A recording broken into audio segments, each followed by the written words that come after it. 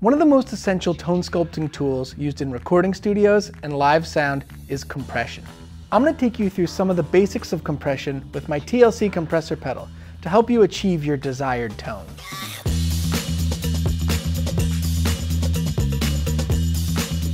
My first professional gig was playing in a wedding band, and a struggle I found early on was the constant genre hopping. We'd play a funk song where I'm slapping, and then we'd play a ballad where I'm playing real light with my fingers, and then a rock song with a pick and distortion.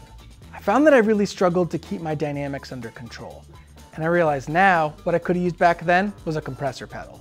So when you jump genres or playing styles like a pick to fingers to slap, there is a range of dynamics. You play soft, you play loud, and not just from song to song, but from part to part, from note to note. Compression is a way to control the dynamics of your bass to give you a focused, even sound. So in my situation with the wedding band, I could have gone from a slap bass line to a lightly played fingers bass line to a pick line, and I wouldn't have had to worry about the dynamic peaks of those different playing styles. It's important to see compression less like an effect, say a fuzz or a chorus, and more like a tool, like EQ. It's something that you feel just as much as you hear.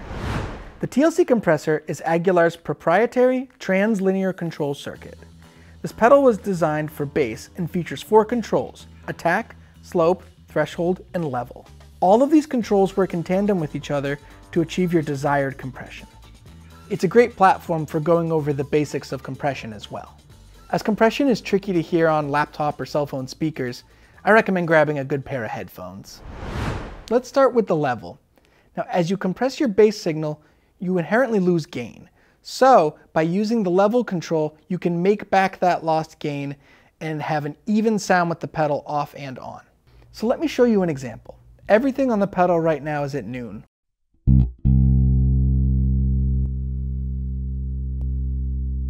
Do you hear that volume drop?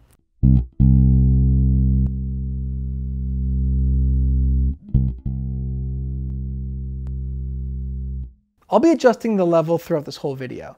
As we get different compression sounds and I tweak the different knobs, we're gonna lose volume and I wanna get that makeup gain back so that we have the same volume throughout. Next, let's look at the attack control. The attack sets the amount of time before compression begins after a note is played. So put simply, this controls how quickly the compression kicks in.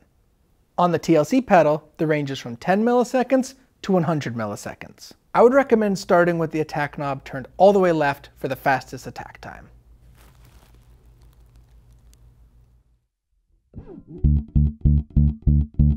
And then gradually turn clockwise to find the attack time that feels best to you.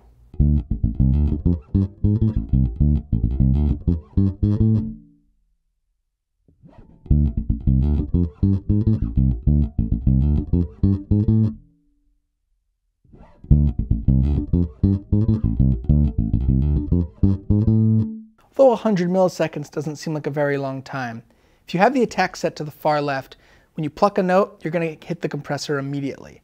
Where if it's over to the right, clockwise, you hit a note, it might be the tail of the note that gets that, that compressor. It's more gradual. So a slap bass player probably wants the compressor to hit right on the top of the note. So they'll set it closer to the 10 millisecond side. If you play melodic fretless bass, you might want the compressor to kick in just after the note. This is something that you have to experiment with and set to taste. The threshold sets the input level at which compression begins. So imagine you have two basses, an active boutique bass and an old passive jazz bass. If you imagine this is your floor and this is your threshold ceiling. With that active bass, you might pluck a note and you'll hit that ceiling, you'll hit that compressor.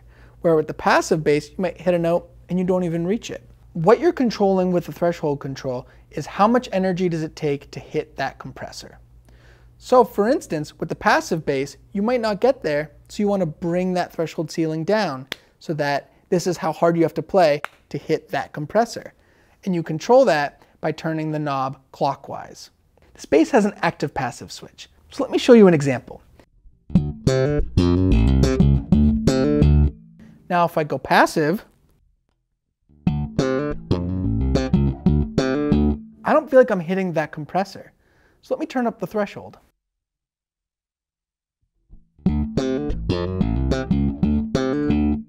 That sounds great.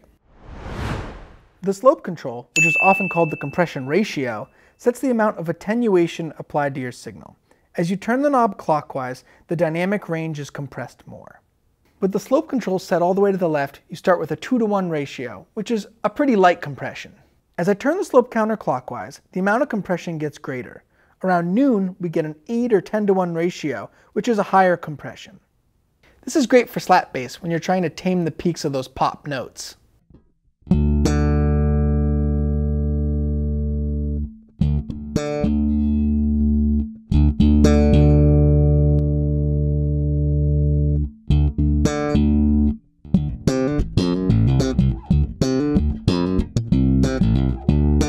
As you go even further to the right, you get a very compressed peak limiting sound, which sounds like this.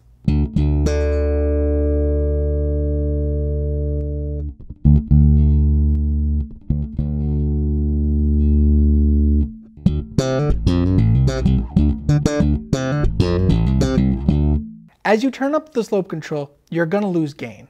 So make sure to click your pedal off and on and adjust your level once you've found the compressed sound that you like.